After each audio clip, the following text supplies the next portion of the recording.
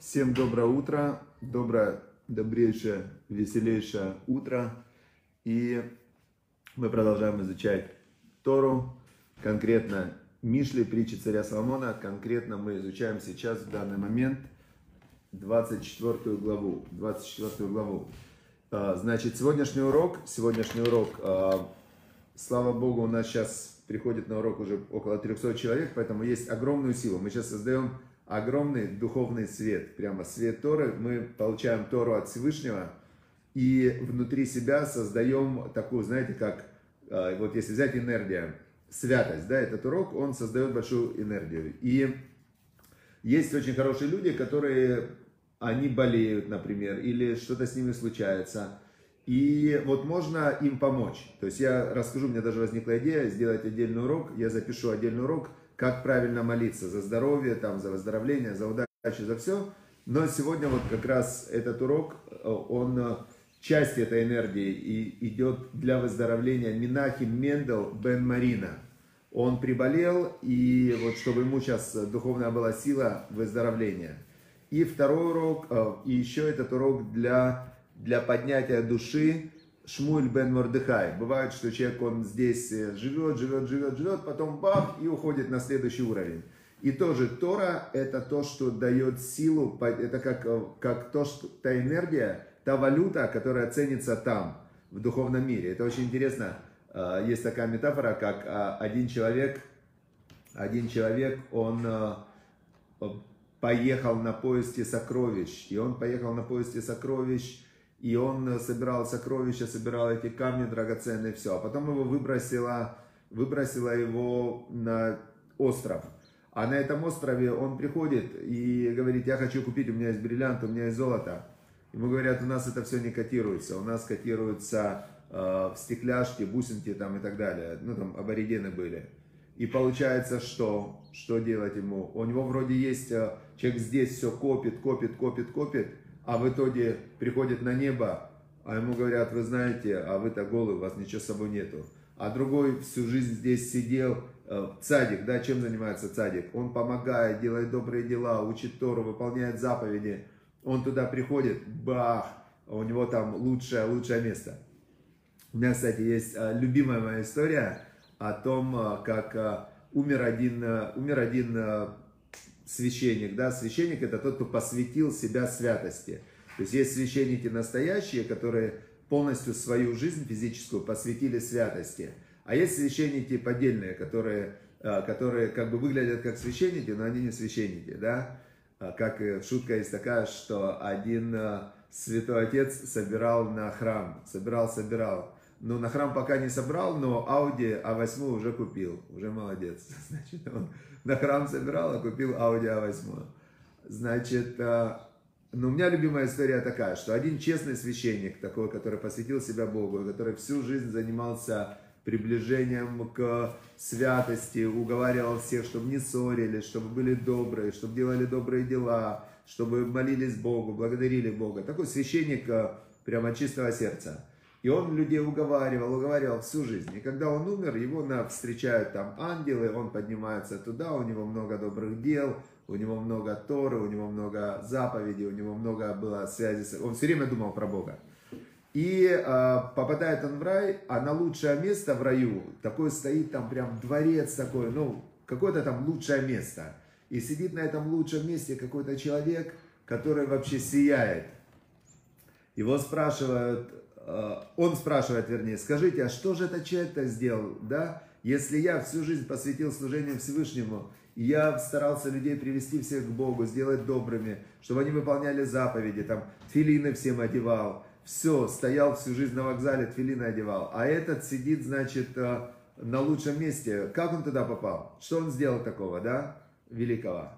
А ему говорят, э, а это таксист, это таксист. Он говорит, таксист, вообще как, почему таксист? А, ему говорят, вы знаете, вы когда свои проповеди читали, так все засыпали. Ну, кто-то, конечно, он слушал, но большинство засыпало. А он, когда людей вез в аэропорт на скорости 200 км в час по серпантину горному, то все молились, все молились, все кричали, Господи, спаси, я все сделаю, я обещали Богу все, все, все сделать и стать на праведный путь. И в другой интерпретации этой истории есть зубной врач. Я помню, как мне удаляли зуб мудрости, который приходилось пилить. На части он не вылазил. И где-то эта вся процедура занимала два часа. У меня до сих пор есть в телефоне такая заметка, что я обещал Богу в кресле у зубного врача, потому что все, что ты Богу пообещал, надо выполнить. Но я в тот момент настолько я раскаивался во всех своих грехах, во всех недоделанных каких-то э, заповедях, во всем я просил Всевышнего, только мне помоги, и я уже тогда все. То есть у меня есть эта заметочка, называется она в кресле у зубного врача. Хорошо. Теперь, значит, мы возвращаемся к, возвращаемся мы к 24 глава. Мы очень четко, серьезно учим Мишли без остановки.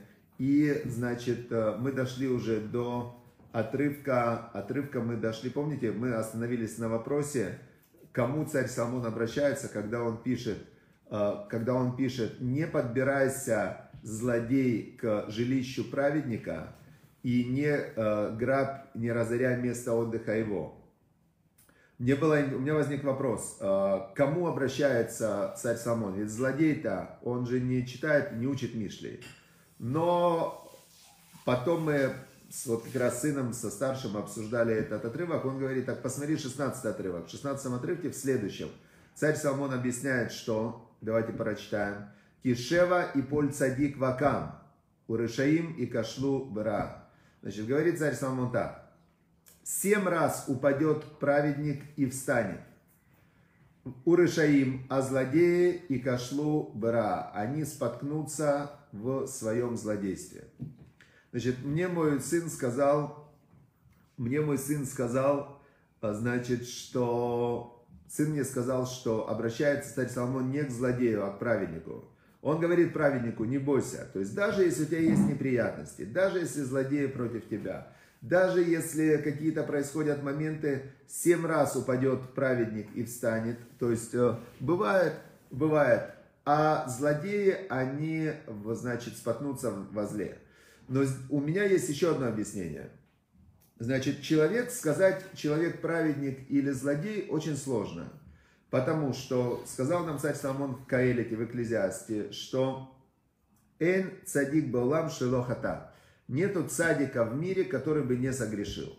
То есть, э, откуда он знает, как он может так утверждать? Ведь цадик, он же это, это статус э, цадик, праведник, то есть он все время выбирает за Всевышнего. Но царь Соломон в Мишле, он нам дал еще одно такое большое правило, которое звучит так, что Амитропе Бемлахто, тот, кто не доделал свою работу, то есть тот, кто мог бы, но не доделал, ах у Либаль Машхит, он как брат для того, кто портит. Что это значит? Например, у каждого из нас, у нас есть огромные, неограниченные силы для служения Всевышнему. Они неограниченные, потому что, когда человек хочет выполнить волю Творца, в этот момент он, он соединяется со Всевышним, он с ним входит в резонанс. Поэтому, при выполняя волю Всевышнего, силы не ограничены. Но что говорит себе любой человек, включая цадика? Кто я? Нет у меня сил, ничего не могу, я слабый, мне бы то есть даже цадики, причем у цадиков Ецарара, злое начало, оно может идти против них именно в этом направлении. Будь скромным, не, не как бы, ну сиди себе спокойненько, не делай ничего. Даже Машера Бейну Моисей, он 7 дней отказывался. Его Бог посылал, говорит, иди в Израиль, все, ты пророк. Он говорит, какой я пророк, я плохо разговариваю, я уже египетский забыл, там же евреи были уже к тому времени 210 лет в изгнании, и они говорили на египетском, а Машарабену, он убежал из Египта, ему было 20 лет. Он говорит, я косноязычный, я плохо говорю, у меня брат есть Аарон, он больше, чем я, лучше, чем я. То есть бывает, что цадик не доделывает. Поэтому в момент, когда цадик не доделывает, у Всевышнего, а Всевышний же Бог знает, мы уже учили это, он же внутри знает силы каждого, он знает реаль, реально силы каждого. Хорошо. Теперь давайте вернемся еще раз. 16 отрывок. Шева и Поль Цадик. Семь раз упадет цадик и встанет. Все, это царь Соломон нам пообещал от имени Всевышнего, что цадик, даже если не получается, должен продолжать. Урышаим, а злодеи и кашлубера, они споткнутся в своем злодействе по-любому, раньше, позже. Я как раз вот сюда приложу, я вчера нашел одну э, статью такую на сайте, да, я ее сохранил, и я вот приложу ее к описанию этого урока. Статья называется, я, по-моему, ее сюда, вот, еврейский киллер, который выдал всех. Значит, статья о одном человеке. В начале века была еврейская мафия в Нью-Йорке. И был у них э, самый главный киллер, э, который был еврей по национальности, который, э, который интересно, что, ну, статья эта, она описывает, конечно, понятно, что это журналист, там 99% придумал, базируясь на каких-то фактах. Но он писал, что этот еврейский киллер, он по пятницам ходил в синагогу, он там, ну, такой он ходил в кипе, что-то соблюдал, еврейские праздники. Хотя возможно, возможно и такое, что человек, он неоднозначный. Любой человек, он неоднозначный. Э, он может делать зло, но себе объяснять, что это добро. Может делать э, добро, э, значит, но не доделывать добро. В общем, этот был еврейский киллер, который убил 400 человек. 400 человек, и которого потом поймала полиция, и он заложил всю мафию, вообще всех он заложил, он показал каждое место, где убивал, кто нанимал, он всех. И вот тогда боссы мафии, еврейский синдикат, а его охраняла ФБР. Его охраняла ФБР, и, значит, э, уже в то время его охраняла ФБР, он был закрытый в этом, но потом э, он выбросился из окна. Выбросился из окна. Правда, удивление вызывало то, что он от окна лежал, от стены он лежал на 5 метров. То есть, как он мог выброситься из окна и упасть на 5 метров от стены, не, было непонятно немного. Но в 60-е годы вышла биогра... автобиография, мемуары а, Чарли Лучана, был такой глава мафии, в то время в, глава мафии этого преступного синдиката. И он там написал, что его убийство стоило 50 тысяч долларов, то есть заплатили прямо охранникам ФБР, и его убили. То есть он перед тем, как его убили, сдал напрямую, там несколько казнили, несколько убили. В общем, идея такая, что злодеи, они не выживут. Злодеи рано или поздно, их злодейство, оно их э, нагонит. Нам сказал 16 отрывок царь Соломон. Семь раз упадет праведник и встанет, а злодеи споткнутся в своем злодействе и уже не встанут. Понятно? Теперь дальше идет совершенно уникальный нам э, такой совет, э, уникальный совет, который который просто, ну, обычная логика, она его не, не цепляет. Но это Тора, это царь Соломон, мудрейший из людей. И он нам говорит интересный совет. Значит, 17 отрывок, э, следующее он говорит. Бинполь ойвеха аль тисмах убикашло аль ягелебеха. Когда упадет твой враг, не радуйся. Убикашло, когда он споткнется, пусть не ликует твое сердце. Непонятно, как это? Вот если мы все вместе рассматриваем. Есть садик, к нему подбирается злодей. Злодей разоряет его жилище, грабит его. Садик э, встает, опять э, там посеял, по, по, поработал. Злодей опять, он встает пятый раз, шестой раз. Но он себе каждый раз, когда встает садик, он говорит себе, семь раз встанет садик, и э, семь раз упадет садик и встанет, он себе говорит. А злодеи, они споткнутся. И он себе говорит, ничего, вот этот вот злодей, сосед мой, который мне все это делает, он рано или поздно, Бог э, разберется, за меня заступится. Тут, значит, этот сосед, он спотыкается, падает, его там сбивает машина. И, э, казалось бы, можно радоваться, справедливость восстановилась, все отлично. Но говорит нам царь Соломон, когда упадет враг твой, не радуйся, а когда он споткнется, споткнулся, это еще не упал, он просто пока споткнулся и там э, подвернул ногу. Пусть не ликует твое сердце. Почему? Это же враг, он сделал тебе плохо, Бог сделал справедливость. Почему я должен не радоваться? Это же все честно. Объясняет царь Самон в 18 отрывке. Пен ире ашем, может быть, может быть, здесь слово используется может быть. То есть это это правило, оно работает, но не всегда работает. Но может быть, увидит Бог, и будет это плохо в его глазах, в глазах Бога, Вешив Алава по, и он от него уберет свой гнев. На кого уберет? на тебя. Как это работает? Значит, э, мы, если соединим то, что мы уже изучали, то Бог, Он не там, Бог не где-то там в небе, Бог внутри. Бог это душа, Бог везде, Бог везде. Млохулярат складов, вся земля наполнена славой Его. И небеса это престол Его, земля это как подножие престола. Но тем не менее, душа, божественная душа, Нешама, это, это Бог внутри как бы, да? И мы уже учили, помните, был отрывок у нас какой? У нас был отрывок вот такой,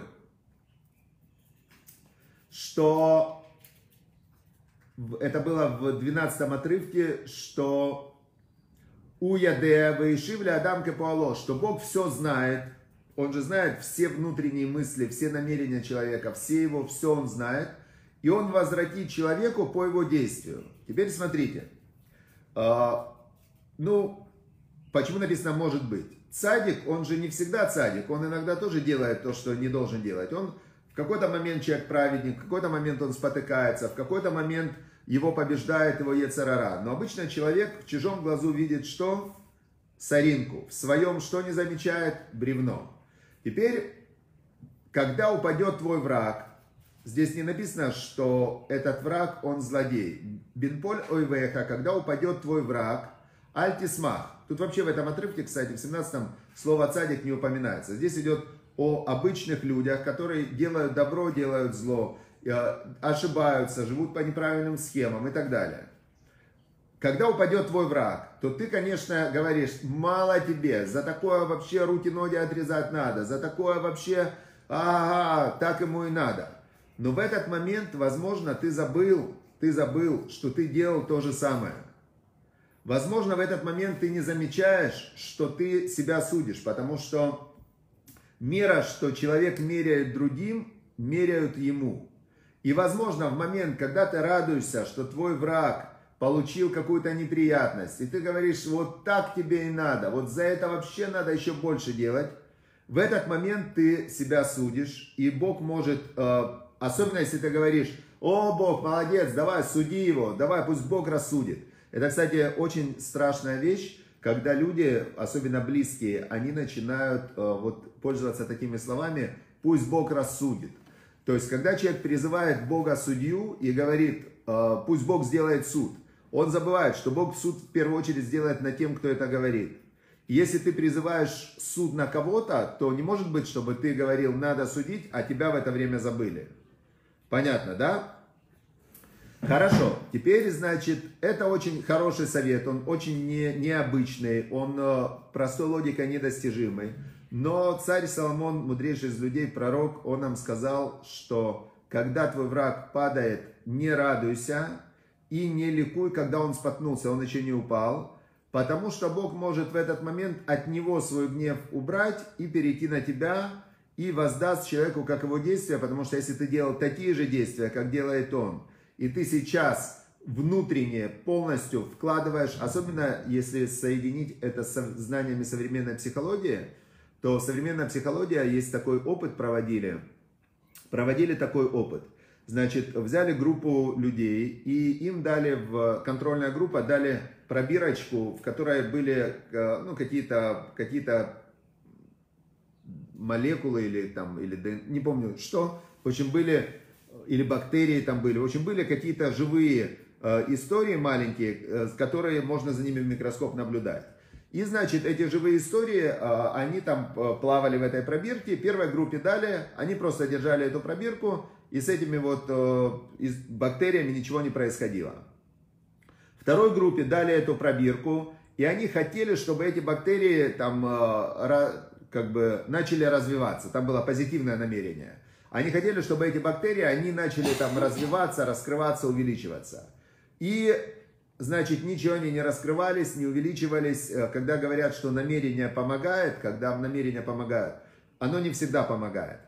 Теперь третью, третьей группе дали эту пробирку, и, э, значит, они должны были думать с намерением, что вот эти вот истории, они раскроются, увеличатся там и оживут, но при этом э, их ввели, помогли им войти в самое позитивное эмоциональное состояние. То есть они получили позитивный эмоциональный взрыв – Э, эмоционально-энергетический такой взрыв.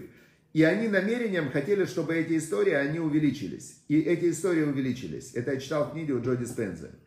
Теперь, и он приводил там опыт, где, в каком институте. То есть, что получается, если свести с этим 17 э, отрывком, когда человек, он радуется тому, что его враг упал, и говорит, вот так надо поступать за вот это.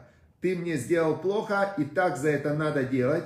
И он сильно радуется. В этот момент его радость, она включает вот этот весь процесс его связи с Богом, а Бог творец реальности. И Бог может наоборот с него забрать и на него же отдать. Понятно, да? Вот я понимаю, что это так работает. Все, мы сегодня изучили очень важные моменты в человеческой психологии, в жизни. Теперь э, каждый из нас создает творец, создатель своей жизни.